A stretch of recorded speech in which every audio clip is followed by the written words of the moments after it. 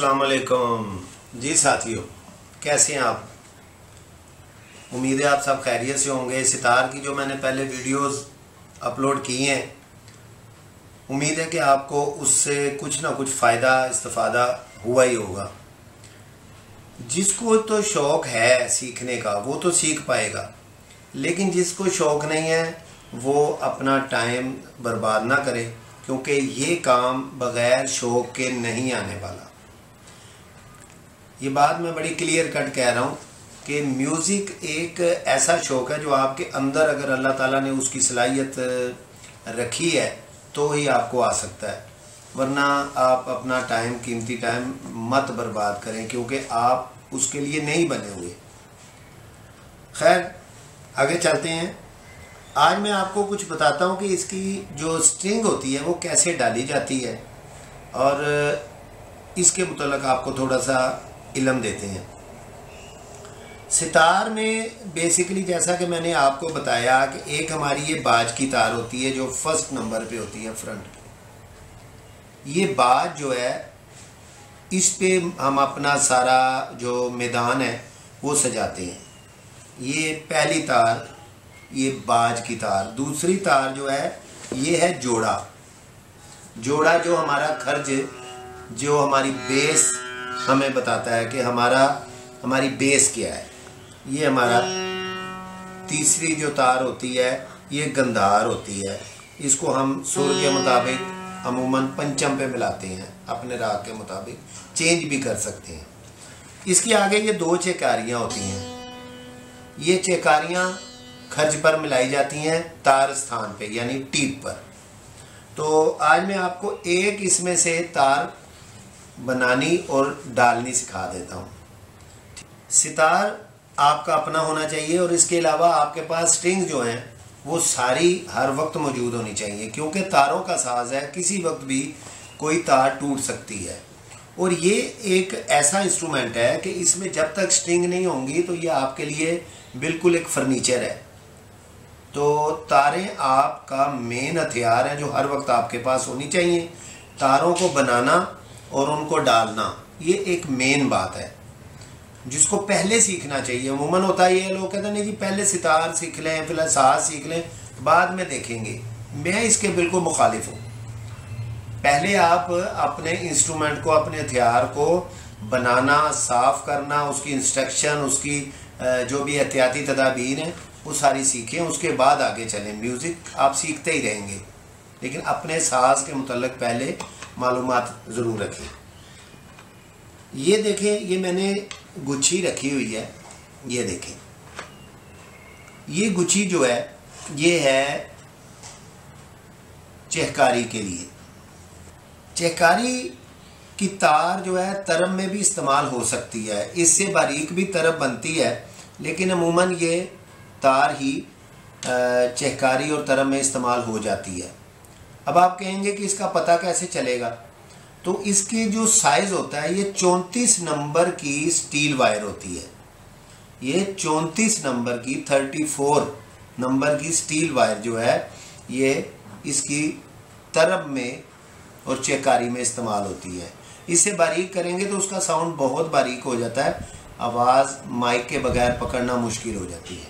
तो ये आप देख लें, ये है गुच्छी चौंतीस नंबर तार की जो हम तरम में डालने लगे हैं। इसी तरह मैं आपको हर तार का नंबर और उसको डालने का तरीका लहदा सिखा दूँगा। ये आज हम जो फ़र्स्ट तरफ़ है, वो इसको डालते हैं। फ़र्स्ट तरफ़ कहाँ होती है? ये देखें। फ़र्स्ट तरफ़ ये ऊपर से जो पाँचवें नंबर की किल्ली है, ये वाली ये वाली। ये पाँचवें नंबर की किली जो है, ऐसे इसके अंदर जाती है और ये इसकी तरफ़ यहाँ से चलती चलती स्ट्रिंग जो है, अपना रास्ता तय करते हुए ये जवारी पे आती है। यहाँ से होके ये पीछे इधर तार दान के अंदर लग जाती है। अब सबसे पहला काम ये है कि हम इस तार को उस साइज़ के मुताबिक काट लेंगे। ये देखें, यहाँ से हमने इस तार का सिरा पकड़ा, ये तार का सिरा।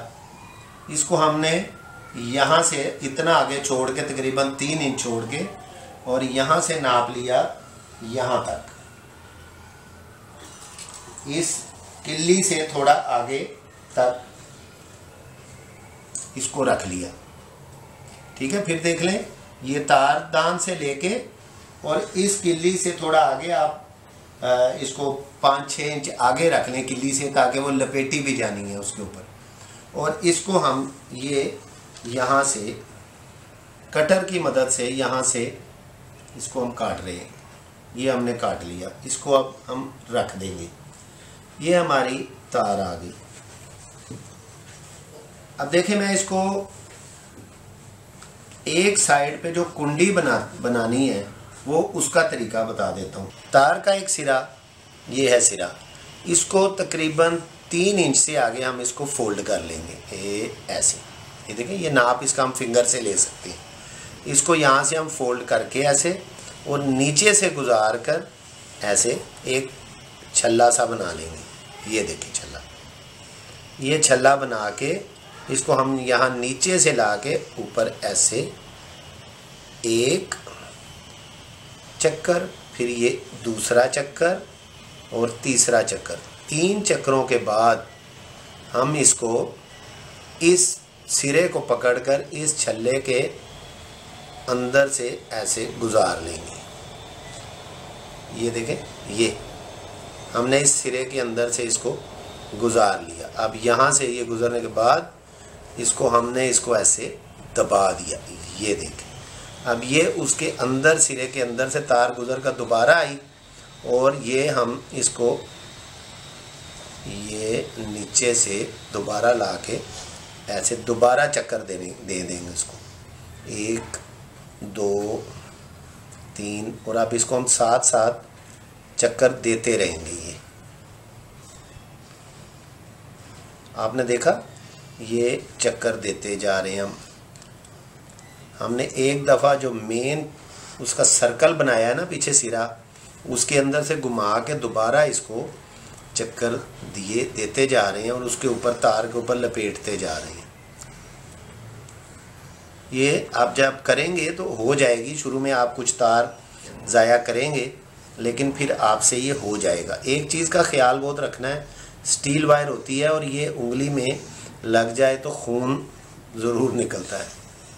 लेकिन जब तक आप ये लज्जत, मज़े वाली, तकलीफ़ वाली नहीं लेंगे तो कोई भी काम तकलीफ़ के बगैर जो है नहीं होता। ये जी हमारा तकरीबन सारा उसके ऊपर घूम चुका है। अगर आपका ये किनारा एंड पे आपसे नहीं एंड तक घुमाया जाएगा ना तो आप एक मुनासब हद तक करने के बाद कटर की मदद से इस किनारे को यहाँ से आप काट सकते हैं। ए, जो सिर्फ़ एक चीज़ बची है इसको आप ज़ाया कर दें पाँव में ना चुप जाए ठीक है? ये फाइनल देखें ये एक चीज़ बन गई। आपने समझा? ये अब हमारी जो ये रिंग सा बना है ये हमारा सितार के तारदान की कुंडी में फंसेगा और फिर वो तार आगे खींची जाएगी खूंटी में।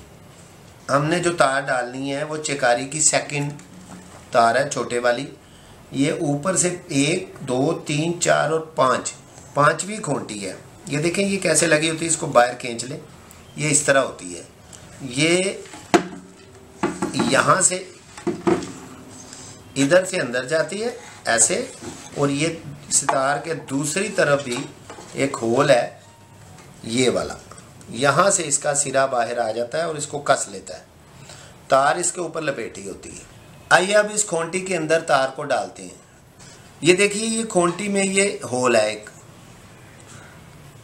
उम्मीद है कि कैमरा फोकस कर रहा होगा। ये देखें इसके अंदर हम इस को ऐसे डाल देंगे। डालने के बाद इसको यहाँ से निकाल कर फिर दोबारा इसके अंदर डाल देंगे।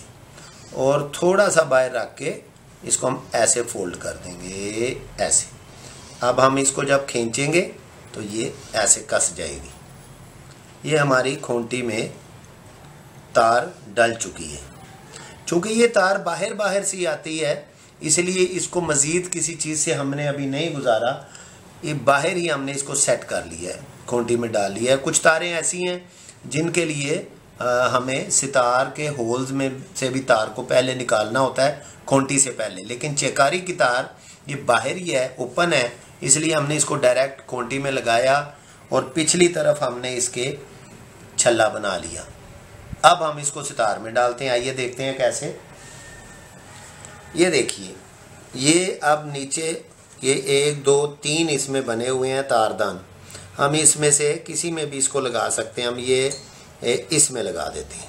क्योंकि ये ज़्यादा नज़दीक है ऊपर जवारी की ये साइड। ये देखिए, फिर एक दफ़ा देख लीजिए। ये इसके अंदर ऐसे। ये तारदान में डालने के बाद उस रिंग को, ये जवारी में जो सबसे इधर वाला कट है, इसके अंदर से ये तार गुजार ली। अब आगे बढ़ते हुए तार को एक हाथ से, उसमें से कोई भी बल नहीं रहना चाहिए, हम अपनी किल्ली तक चले गए। अब वो किल्ली जो है, उसको हमने इस होल में, ये देखें, ये होल के अंदर इसको डाल दिया।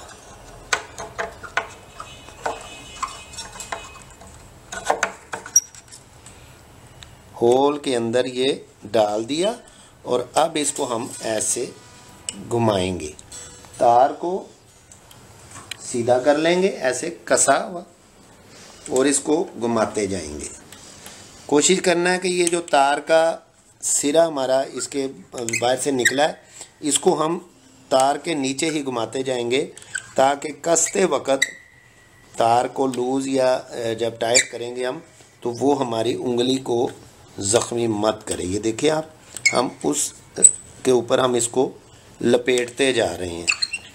ये देखिए, ये ये ये इसको घुमाते घुमाते तार सारी इस पर लपेट देंगे। इस तार को सेटिंग के लिए यहाँ पे उन्होंने एक स्टैंड बनाया हुआ है। ये देखें, ये इस तार के ऊपर एक स्टैंड बना है। उसके अंदर यहाँ पे हम जमा देंगे इसको। यहाँ पर एक ओवर स्टैंड है जो इसके तार को किलियों से दूर रखेगा। ये देखिए अब ये अपनी जगह पकड़ चुकी है। अब हम इसको, जब हम स्ट्रिंग मारेंगे तो ये बोलेगी। तार हमारी डल चुकी है। अब हम इसको ट्यूनिंग करेंगे। जैसा कि मैंने शुरू में बताया, चेकारी की तार जो है, ये हमारे बेसिक सुर यानी खर्ज पर, सा पर, जो हमारा मेन सुर होता है, उसके ऊपर इसको ट्यून किया जाता है, ऊपर के सप्तक में। और जो तार सप्तक कहलाता है या टीप ऑक्टिव, सबसे ऊपर वाला। तो ये हमारा बेसिक सुर है। सा, ठीक है? इसी के गिर्द हम, हमने अपना जो है साज ट्यून करना है। तो इसी के ऊपर हमने ये चिकारी बनाई हुई है। अब ये जो हमने डाली, इसको भी इसी पे ट्यून करेंगे। इधर से हम स्ट्रोक लगाएँगे और उस हाथ से हम इसको टाइट करेंगे या लूज करेंगे। देखें ये टाइट की, ये लूज की, टाइट की। दिमाग से सुनेंगे, जब ये सुर एक्यूरेट हो जाएगा, वहाँ पर हम किली को टाइट करना छोड़ देंगे। ये देखें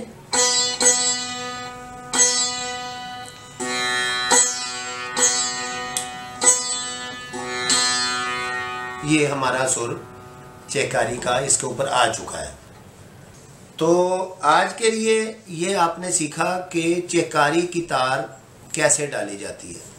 अगली वीडियोस में एक एक तार में अलहदा अलहदा आपको डालनी सिखा दूँगा और फिर आप इसको मुकम्मल साज खुद घर पर बैठ के बना सकते हैं, बजाय कि आपको कोई मोहताजी हो। कि एक तार अगर टूट गई तो आपका सितार आपके हाथ से ख़त्म हो जाएगा। आप बैठ जाएँगे, कहीं शॉप्स पे लगाएँगे, टीचर के पीछे भागेंगे कि, सर, मुझे ये तार डाल दें। तो सबसे पहले आप इंतहाई दिलजमी से, शौक से अपना ये बोरिंग पीरियड जो कहलाता है, इसको अबूर करें इस संगे मील को और अपनी तारें डालनी सीखें, ट्यूनिंग करना सीखें और तारों की ट्यूनिंग के बाद ये हमारा साज मुकम्मल होता है। और हम कुछ बजाने के काबिल होते हैं। तो ये बोरिंग फील मत करें और इसको सबसे पहले बड़े शौक से आप याद करें। अगली वीडियो तक मुझे इजाज़त दीजिए। अल्लाह हाफिज़। पीस फरार